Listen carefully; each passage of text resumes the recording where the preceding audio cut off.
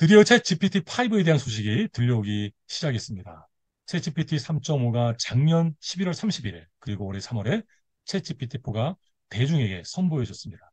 그리고 챗 GPT가 대중에게 선보인 그 진보는 놀라운 것이었습니다. 할루시네이션과 여전히 기대에 못 미치는 그 부분이 왜 없었겠습니까? 그런데 인공지능의 진보가 보여준 오늘 이 시점의 그 변화는 이 시점에서도 놀랍지만 너무나도 빠르다. 그리고 앞으로 이룰 그 변화라고 하는 것은 우리 인간에게 두려움의 대상으로 인식되기까지 하고 있지 않습니까? 그런데 챗GPT 5가 뭐 언제인지는 이야기 안 했지만 3.5에서 4로 넘어가는 어떠한 그러한 속도를 본다고 한다면 아마 내년 초, 내년 초중반 정도가 되지 않을까 저의 기대를 아, 실어서 한번 예상해 봅니다. 어제 인터뷰 내용을 잠시 살펴보도록 하겠습니다. 이야기의 중심에는 AI 칩이 부족하다. 인공지능을 그 구현해 나가는 과정 속에서 고가의 GPU 칩이 필요했는데 엔비디아의 의존성이 굉장히 강했나 봅니다. 그 신문 기사를 보면 인공지능에 필요한 그 고가의 GPU 칩이 어떤 것은 4만 달러가 넘어선다라고 이야기를 하더라고요. 그런데 그것을 엔비디아만이 만들어낼 수 있다 보니까 오픈 AI만 인공지능을 만드는 것이 아니잖아요. 수많은 기업들에서 인공지능을 만들고 있었고 칩 공급에 문제가 있었습니다. 그런데 이제 여기서 샘 알트만은 자본주의 마법이 지금 이루어지고 있다라고 언급을 했습니다. 코로나 때 어떤 그 백신을 만드는 과정이라고 하는 것은 1, 2년 만에 만들 수 있는 것이 아니었잖아요. 4년에서 길게는 10년까지 일상, 이상, 삼상을 거쳐나가면서 연구 개발되던 것이었는데 온 나라가, 온 세계가 한 마음으로 재정을 쏟아부고 관심을 갖다 보니까 정말 빠른 시간 안에 백신이 만들어졌잖아요. 아마 그것과도 비슷한 그러한 여정 속에 지금 인공지능이 있지 않나 생각을 해봅니다. 구글도 마이크로소프트도 그리고 수많은 기업들이 인공지능의 핵심 부품으로서의 그 GPU를 그리고 또 다른 부속품들을 개발하기 위해서 수많은 연구 개발비를 투자하고 있습니다. 대규모 투자가 지금 발생되고 있는데 아마 자세히는 이야기하지 않았지만 그것이 마이크로소프트를 통해서인지 아니면 다른 회사를 통해서인지는 모르지만 내년 초에는 이제는 엔비디아의 칩 공급에만 의존하지는 않는 상황이 올 것이다 라고 하는 이야기를 한 듯합니다. 그러면서 이제 GPT-5가 개발되고 있다라고 이야기를 하면서 마이크로소프트로부터 추가 지원을 받게 될 것이다 라고 하는 이야기를 했습니다. 마이크로소프트가 추가 지원에 나선다라고 하니까 아마도 GPT-5가 보여주는 진보라고 하는 것은 3.5에서 4보다 월등한 기능들과 월등한 인공지능의 진보된 모습을 우리들에게 선보이지 않을까 생각됩니다.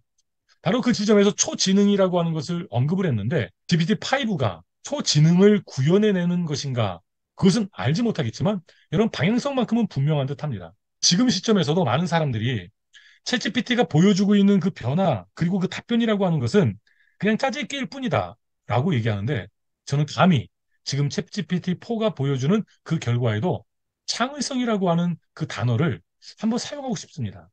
물론 인간의 그것과 챗GPT의 그것을 동일 선상에 놓고 이야기할 수는 없습니다. 분명한 것은 챗GPT4가 구현하고 있는 지능의 영역에서 우리가 살필 수 있는 수많은 것들 가운데 인간을 넘어선 것들이 얼마나 많습니까? 정보력에 있어서도 그렇고 한 분야의 정보력을 넘어서 모든 분야에 있어서 우리보다 앞선 것들이 많이 있습니다.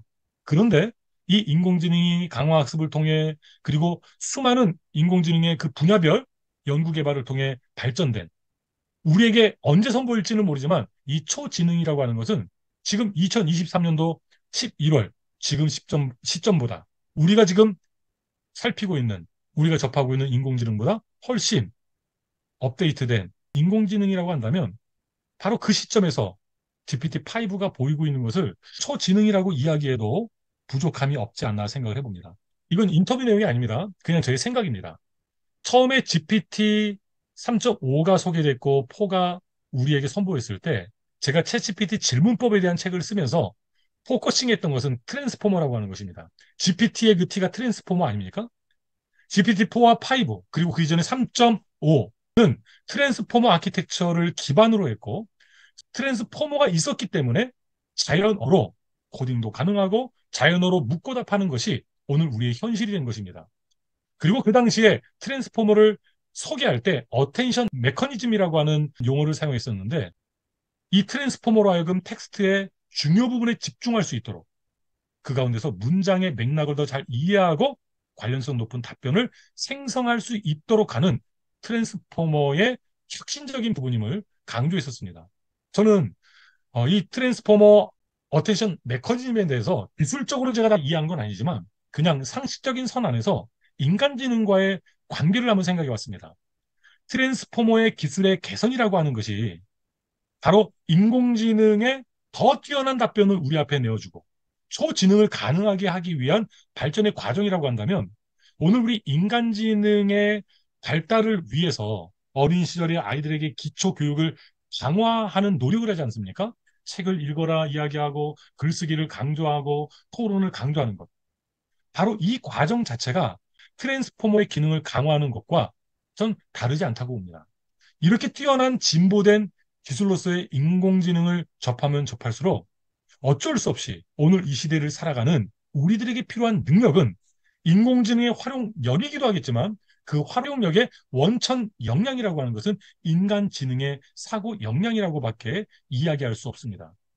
지금 챗GPT 4가 우리에게 GPT-3를 선보이지 않았습니까?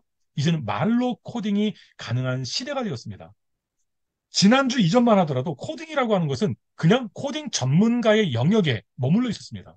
그런데 이 transformer의 attention mechanism이 그것에 연관된 인공지능 기술들이 이제는 인간의 자연어를 통해서 코딩도 다른 모든 것들도 가능한 시대를 우리에게 선보였는데 여러분 그렇다고 한다면 어떤 질문을 던질 것인가?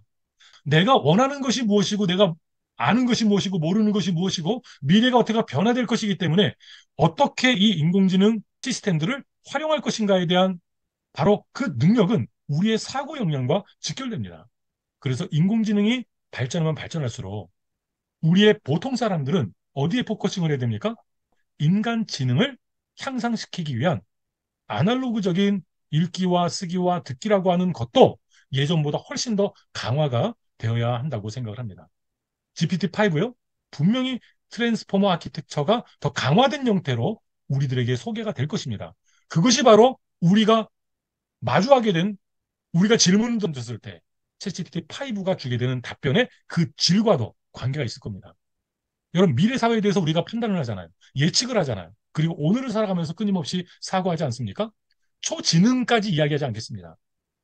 만약에 우리가 영화에서 보는 것처럼 그 초지능이 인간을 위협하는 잠재적인 위험 요소가 될런지는 모르지만 그러지 않게 하기 위한 오늘 우리의 준비는 우리 인간의 역량, 사고 역량을 훈련하는 것. 저는 그것이 가장 중요한 핵심이라고 생각을 합니다. 제가 독서 전문가고 글쓰기 전문가고 이 분야에서 오랜 시간을 지내왔기 때문에 또 이렇게 GPT-5라고 하는 것, 챗GPT를 언급하면서 이쪽을 강조하는 것일지도 모르겠습니다. 그러나 이거는 굉장히 상식적인 선이고요. 2023년도 11월 우리에게 선보인 GPT-3, GPT 빌더의 그 과정을 보면서 야, 코딩도 자연어로 할 수 있다고 한다면 이제 그 자연어로서 원천 역량이라고 할 수 있는 사후 역량을 훈련시켜 나가는 트리비움의 역량 강화는 인공지능 시대의 인간 교육의 핵심 중의 핵심이 되어야 한다. 예전보다 더욱더 디테일하게 훈련할 수 있는 프로세스를 마련하고 강화시켜 가야 된다. 그런 생각을 해보았습니다. 지금 우리가 마주하고 있는 인공지능, 챗GPT 5가 우리 앞에 선보일 때쯤 되면 지금의 상상을 넘어선 그 무엇인가를 우리에게 안겨줄 것입니다. 그것을 위해서 챗GPT 4, 챗GPT 5의 transformer architecture의 그 강화, 그것을 우리가 관심 가질 것만이 아니라 우리의 architecture로서의 트리뷴의 역량을 강화하기 위한 인간 지능을 강화하기 위한 부분에도 더욱더 많은 관심을 보여야 될 겁니다. 그랬을 때 인공지능을 인간 존재를 위협하는 인공지능이 아니라 우리를 세워나가는 우리의 도구로서 잘 활용할 수 있는 그 역량도 세워지지 않을까 생각합니다. 다음 시간 또 다른 주제로 찾아뵐 것 약속드립니다. 감사합니다.